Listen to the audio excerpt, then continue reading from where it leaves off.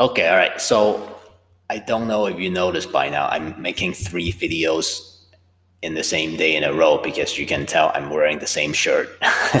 so okay, all right. So here's what we're gonna do. Let's let's really try to wrap up the unit. Okay. So yesterday we talked about adding, subtracting, multiplying, dividing with rationals, but not doing it per se, but to tell whether the answer is going to be rational or irrational. So I know that was a lot of information. So uh, today I want to just show, show you some practice questions and then afterwards I have one more thing to tell you and that's cubic roots. Okay, so as soon as we talk about that, then we're going to be okay. All right, so let's get started. Okay, all right, so today is unit one, day five. Tuesday, September 29th. It's been very hard for me to keep track of these uh, these dates.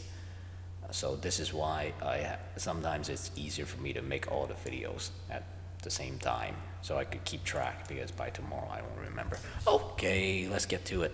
All right. So yesterday we had a very uh, we had a lesson that had a lot of information. I know that's a lot of information, but let's recap very quickly before we practice. Okay, so again, almost always, all right, when you add, let me make this point even stronger. You will always have an irrational answer when you add or subtract two irrational numbers let me write this out actually. Let me use a different color. All right, I'm going to use INR. Irrational plus irrational is irrational, right? Irrational plus rational, right? Hold on. Let me double check also, right? When you add an irrational number, the sum is irrational. That's correct, right? Irrational, all right? Now, when I say add, I mean also add or subtract. Okay, let me write it like that, okay? Hopefully that won't confuse you, right?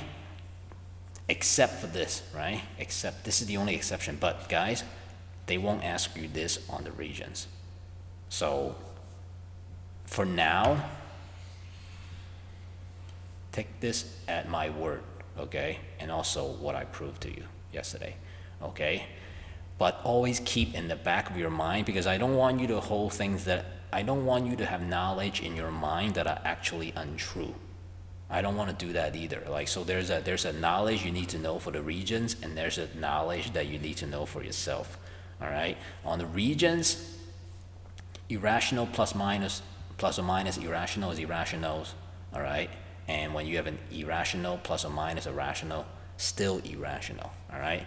But in your in your mind, all right, deep in your mind, you know that this is the exception. Okay, now with multiplying, right, I already show you. It's not as strong a statement as the last one, because why? This was the exception. And based on the example I showed you yesterday, which was this one, they will see if you notice that, right? They will test you on this. Okay, so that's what that's what I want to prove to you. Okay, so this one, you this you, you notice how I didn't say always. I didn't say always, right? I said you could have a rational, you can have an irrational number, like here, but you could also have a rational number. So it's sometimes. The answer is sometimes.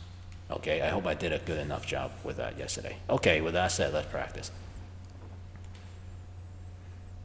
All right, so right now I can tell the, this is very glitchy right now. It's a lot of stop and stops and starts. So that means that the audio is also gonna come out very choppy. Okay, all right, let's try this one. All right, so let's take a look.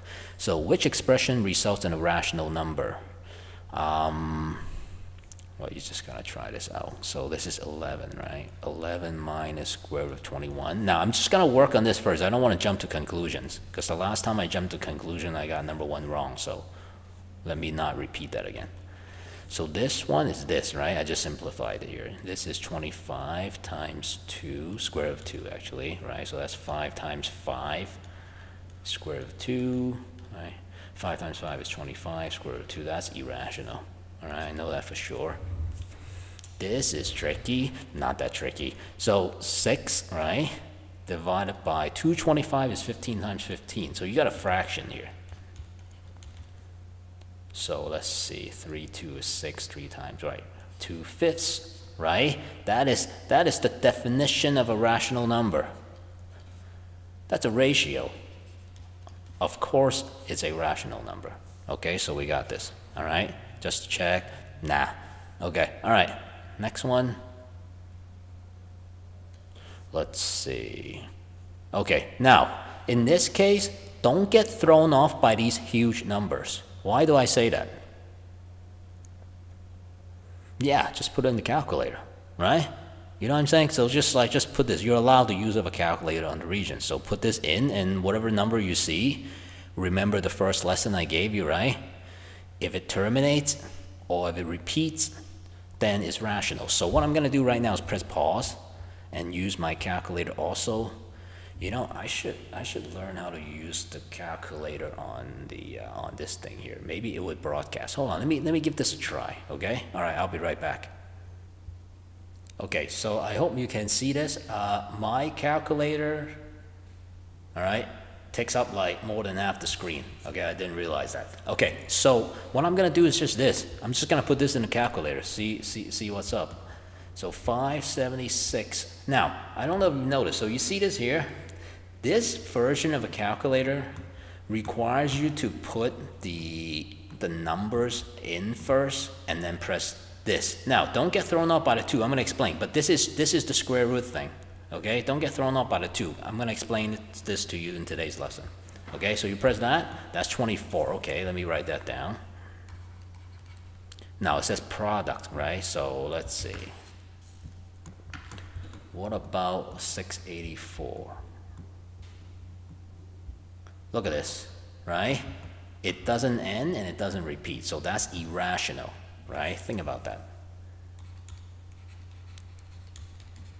So what do you think the answer is going to be? And I'm not asking about a numeric answer. The answer is going to be, right, irrational, right? So it's irrational. You got to be careful. It's going to be 1 of 4. Irrational because both factors are irrational? Not true. This is rational, so it's choice 3. Okay? All right, let's see. Which statement is not always true? Okay, now I really got to read this because it's not always true. Not always true. Okay, all right. Yeah, I got to be careful with this question. Okay, I got to read very carefully. Okay, the product of two irrational numbers is irrational. Ah, oh, man. Not always true. Okay, all right, I already gave that gave that away, right? Because because you already remember what I said. So I'm just gonna put a check. I'm not gonna bubble this in, all right? If you were taking a test, I'm just going to put a check here, okay? And then I'm going to go from there. Uh, let's see. The product of two rational numbers is rational. That's always true. The sum of two rational numbers is rational. That's always true, right? We're looking for not always true. So, so, so let's see. The sum of a rational number and an irrational number is rational. Now, you see what I'm talking about here when I talked about this here, right? There's the Regents knowledge, right? And this is your true knowledge, right? So, what does that mean though? Let's see, the sum of a rational number and an irrational number is rational. So rational and irrational. Oh, actually, that doesn't even refer to the last one. Let's see. Yeah, it's always irrational, right? The sum of a rational number, yeah, it's always irrational. It's always true. So that leaves us with this right? Now, let me, let me see if I can explain this further by giving you an example. So which statement is not always true? What's, how are we doing on time? Eh, We're all right. Which statement is not always true? The product of two irrational numbers. Now, so remember that? Remember the example? So if I got square root of 3 times radical, th square root of 2 times square root of 3, that's square root of 6, right? That's irrational. However, if I do this, which the Regents expect you to know, this is rational, right? So not always true because it could be one or the other, okay? So yeah, if you got that right, good job, okay? These questions aren't, aren't super easy to answer. Now, let's do these tougher questions. So let me see. All right, so these are the numbers. So this is irrational. You see what I'm doing here, right? I'm like, so guys, this is this is test taking strategy. Because you already know where these sort of questions are going to going, like what kind of topic they're going with, right? So if you see this, just write, you know what? That's irrational, that's irrational, that's rational, that's rational, right? Because that's actually just four. That's actually just three, right? Let me erase that. Now, what am I talking about? Okay, all right, so let's see. Which expression results in a rational number? I mean, I know for sure that n plus p will give me a rational number. So is this. Okay, now let's, you know, I'm, I'm a, I try to be a very careful person, so I'm just gonna look. L plus M, irrational plus irrational, no. Uh, these two, no, that's irrational. Okay, and then P and L, yep, that's irrational, so there we go. Okay, all right. So by the way, so one of the things that when you eliminate like this, it just gives you more confidence about your, the answer that you're putting in. Okay, so that helps, all right? Hopefully that, that little, that little tidbit would help you. Okay, are we almost done? Two more? Three more? Aye, aye, aye. All right, I might not even do those last two. Okay, again, right? I put a star next to it because I know exactly why I put a star next to this. Tough questions, maybe. All right, which expression results in an irrational number? Now, you might look at this right? At first glance, by the way, that's a, that's a rational. So it's not one. That's a rational answer, okay? This one, no, actually look at choice four. If you look at this, this is just three times seven, isn't it? So that's 21. So that's, that's a rational number. We're looking for irrational, right? So these two are eliminated. Now, let's pick between these two. So square root of 5 times the square root of 5. You might say, well, you know, Mr. Ng, uh, that's irrational, that's irrational, so it has to be irrational. Uh-uh-uh, not true. This is the exception again. So you see how I'm picking questions that emphasize on the exceptions? Okay, because I want, I want you to look out for that when you take the Regents exam. So what's the square root of 5 times the square root of 5? Yeah, just 5, right? Remember what I said? You take the square root away, right? So that's rational, so that leaves you with 2 only. All right, classic, classic New York style SAT style questions, right? Two only, three only, one, one, three, and four, two, three, four, none of the above, all of the above. You know what I'm saying? Like all those kind of questions. So it's two only. Okay. By the way, if I ever make make a mistake, and I'm gonna make mistakes, okay, uh, email me and let me know. Okay, I'll correct it. Now, this is not yeah, this is, this is itself, this is in itself a question. So let me see, how, how am I doing on time? Yeah, I'm, I'm getting there. Okay, all right. I'm, I'm gonna, I'm gonna finish today. So today's video is gonna be a little bit long, maybe 20 minutes, hopefully not. All right, is the product of two irrational numbers always irrational? Ah, look at this. This is like a part two, part three question, right? There's no multiple choice. So how do you, how do you answer this question, right? Is the product of two irrational numbers always irrational? Okay, now I already, I already told you, right? The answer is sometimes, right? Because you can have square root of 3 times the square root of 2, that's the square root of 6, right? But then you also have the exceptions. So this is square root of 5. Okay, right? Is it always irrational? No because sometimes you get this, sometimes you get that. Now I know what some of you are thinking. Well, okay, what do I write like exactly? Right? You say no because sometimes when two irrational numbers multiply, you get a an irrational number, and feel free to give them an example. Okay, and then when you multiply two irrational numbers, sometimes you get a rational number, and give them this example. Okay, all right. Now I'm going. I'm gonna not do this. Okay, because I already told you earlier about this, right? Like this would be 45 and then you just simplify, right? So I'm gonna leave this alone. Okay, let's move on, all right? Um, cubic roots, it's on the test, not often. And as a matter of fact, It won't be on the test as a cubic root in itself. So let me explain to you what a cubic root even is, right? So how is this symbol different from this symbol? Right? There's a number here.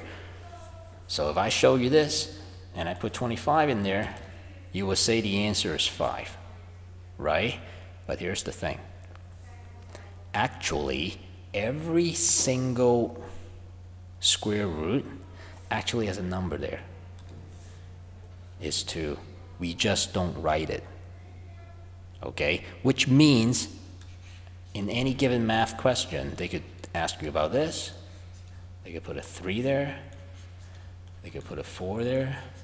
They could put a 5 there. Now, it'll, it'll, you almost never come across like the fourth root, like, you know, you might, you might, but not the fifth root, definitely, okay? So what does it mean, right? That's the big question because when we do this, you might say, hey, Mr. Ng, uh, what's the square root of 100? And I would say 10, of course, right? So the question is, what does a cubic root even mean? What a cubic root means, let's take the cube root of 8, for example, is something like this. Listen very carefully. What number multiplied by itself three times, not twice. Again, I'm going to say this again. What number multiplied by itself three consecutive times, or three times, will give you the number 8. So what number, right? Same number, not like 1 times 2 times 4. Like that's, that's not like, that's not it, right? Because those numbers aren't the same. What number, what, what same numbers, when multiplied by itself three times, will give you 8. Think about it. What do you think? Yeah, it's 2. 2 times 2 times 2 is 8. That's the cubic root. So the cubic root of 8 is 2. The square root of 25 is 5. The square root of 100 is 10. The cubic root of 8 is 2. So let me, let me throw a couple more questions your way. What's the cubic root of 27? Can you think of a number? Yeah, it's 3, right? Because the question is what number times itself three times, right? Times itself, times itself, times itself will give you 27. Well, it's 3. Okay? That's what that means. Okay? Um, I'm not going to spend any more time with that. All right, one last question then. Okay, okay. All right, what's the cubic root of 1? Yeah, it's 1, right? 1 times 1 times 1 is 1. So it's 1. Okay? Uh, why, why is it that then, you might ask, why is it then, Mr. Ng, why is it then that like we don't put a 2 here, right? Like normally, there's no 2 here. It's because every time you see this, every single mathematician, every high school student, they know that there's an invisible 2 up here. It's the square root. Okay, so let me give you a similar example. So in seventh grade, right, if you see a, uh, the variable x and there's no exponent, what do you assume that to be? Yeah, there's a 1 there, right? So let's say there's 2a, right? It's not just 2ab, it's 2a to the first power, b to the first power. You see that, right? Also, if you just have a variable out here, there's actually a coefficient, right? The number that's in front of the variable. What number is that? Yeah, 1, right? You see, you see how in math all, all the time, there are some numbers that are so obvious that we don't have to write them. We don't have to write the exponents unless this is a second power, right? So on and so forth, right? Same reason. We don't need the exponents here. Okay, all right. I think that's it. So thanks for watching, all right? 18 minutes, yeah, okay, it's all right. Okay, all right, I'm gonna stop right here. Thanks for watching, all right? And, uh, okay, have a good one. Bye-bye.